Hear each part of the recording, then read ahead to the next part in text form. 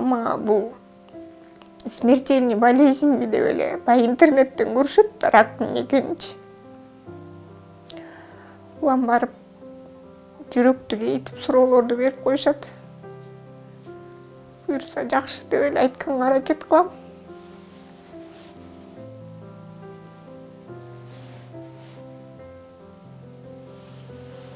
диагнозумду айтсам ошо рак молочной железы ошо төртүнчү степень. Эки миң он тогузунчу жылы шишка пайда болду төшүмдө.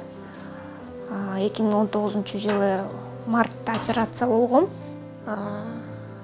Эң биринчи мындай возрастты карап жаш экенсиң организм күрөшөт деп мындай частьтын алышты. Гистологиядан начар чыгып калды жок пока метастазы кете элек экен полный эле алып салабыз деп полный бир айдан кийин кайра экинчи операция болдум бул жакта.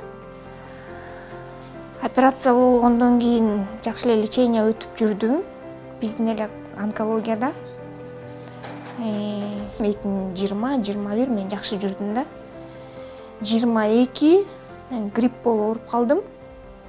Ошондо резко осложнение берип кеттиби бат эле э, барсам уже онкологический поисктан уже метастазалар уже пайда болуптур сөөктө өпкөдө боордо экинчи төшүмдө врачтар лечение кылганга аракет кылышты бирок эч кандай результат болгон жок.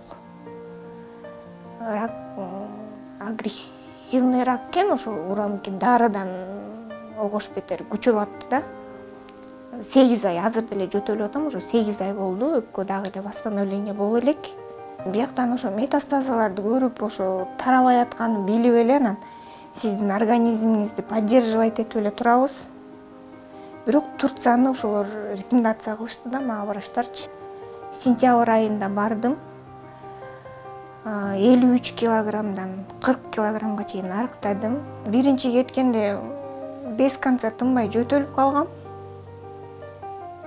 состоянием аябай эле начар болчу ошо аэропорттон обезболивающий сайдырып алып жеткенге аракет кылдым.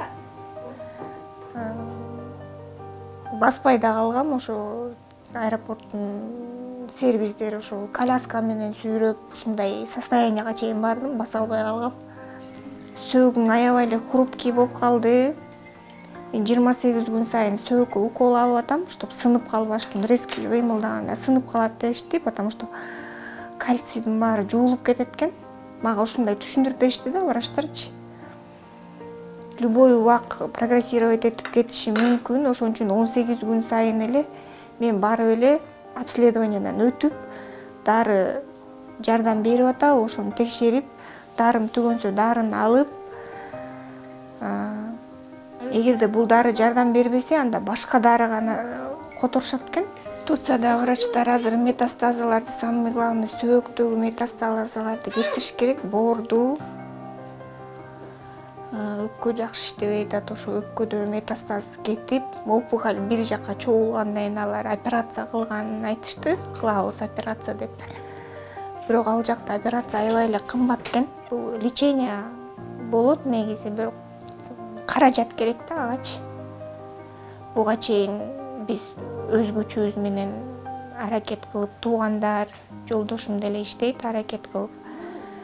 Эки сапар турцияга эки курс лечениясын өтүп келдим.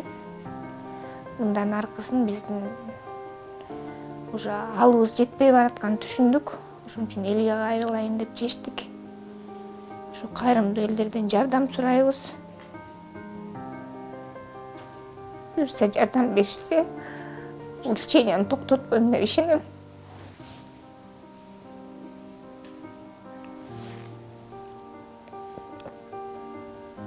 Бир барып келгенге эле мага э, жети сегиз миң доллар кетет.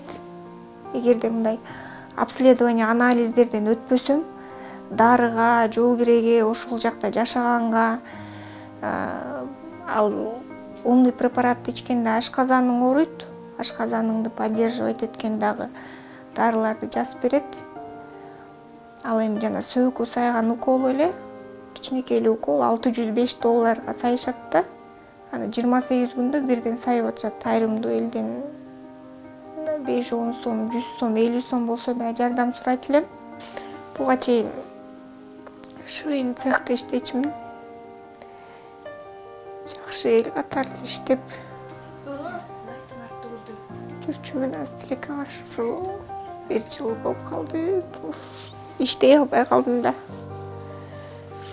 сегиз айдан бери эле ушу оору менен ушу күчөп кеткен ушу оору менен эле күрөшүп келатам мен ооруганда үй бүлөбүздүн баары эле ооруду мындай эне оорусу жаман го үйдө свет өчкөндөй эле болду анын үстүнө эки кызым мындай подростоктор мама бул смертельный болезньби деп эле баягы интернеттен көрүшөт рактын экенинчи улам барып жүрөктү кейитип суроолорду берип коюшат буюрса жакшы деп эле айтканга аракет кылам